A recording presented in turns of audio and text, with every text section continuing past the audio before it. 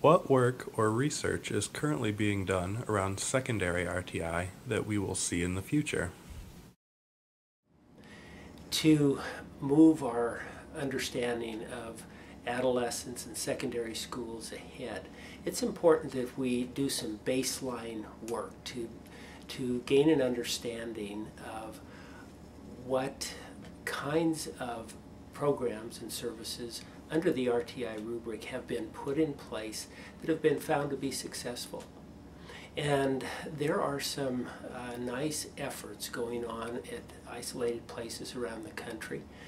Um, and it's important that these be identified and that we not only understand technically what are they doing, in other words, what constitutes universal screening, how do they do progress monitoring, what does a tier two intervention or set of interventions look like, and so on.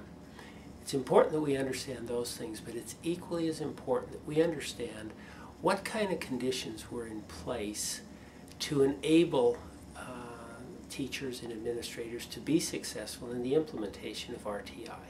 For example, uh, what kinds of sustained support was available for professional development um, what kinds of changes did they make to the school schedule and the structure of the school to allow um, students to move fluidly from one tier of instruction to another.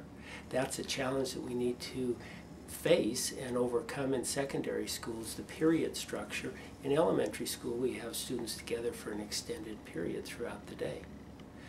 Uh, what kinds of uh, changes needed to take place in order to, for teachers to come together for co-planning and for data-based decision making.